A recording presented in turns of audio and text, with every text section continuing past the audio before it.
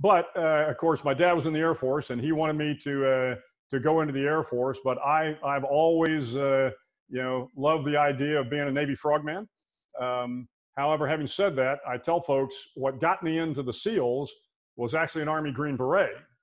My my sister uh, was dating uh, a Green Beret in probably it would have been about 1972 maybe, um, and of course 72 uh, this was in San Antonio, Texas. He came to pick her up one day, and back then you didn't, um, uh, you weren't supposed to be wearing your uniform. Vietnam was kind of still going on, and and uh, they didn't encourage uh, the soldiers to wear their uniform out in public. But he shows up at uh, to pick up my sister. She is, uh, you know, notably late, and so I get talking to him, and he says, you know, you're thinking about going to college? And I said, yeah, I am. And you know, what do you think about doing? Well, I think I, I may go into the Navy. And he says, well, then you ought to be a Navy SEAL.